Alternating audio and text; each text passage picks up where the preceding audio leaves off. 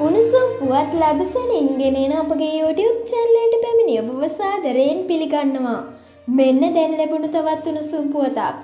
ඉදිරි සතියේ සිට වාහනානයන සීමා කිහිපයක ලිහිල් කිරීමට බලාපොරොත්තු බවද මුදල් රාජ්‍ය ඇමති ශයහන් සේමසිංහ මහතා සඳහන් කරයි.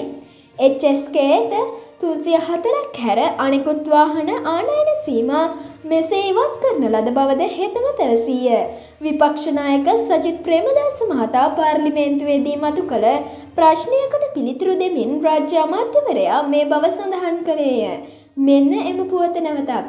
ඉදිරි සතිය සිට වාහන ආනයන සීමා කිහිපයක් ලිහිල් කිරීමට බලාපොරොත්තු බවද මුදල් රාජ්‍ය ඇමති ශයහන් සේමසිංහ මහතා සඳහන් කරයි. HSKත තුන්සිය හතරක් හැර අනිකුත් වාහන ආනයන සීමා මෙසේ ඉවත් කරන ලද බවද හෙතෙම පැවසීය. විපක්ෂනායක සජිත් ප්‍රේමදාස මහතා පාර්ලිමේන්තුවේදී මතු කළ ප්‍රශ්නයකට පිළිතුරු දෙමින් රාජ්‍ය අමාත්‍යවරයා මේ බව සඳහන් කළේය. මෙවැනි උණුසුම්පුවත් ලදසනින් දැනගැනීම සඳහා අපගේ YouTube චැනලය සබස්ක්‍රයිබ් කර බෙල් අයිකනයද ක්‍රියාත්මක කරන්න.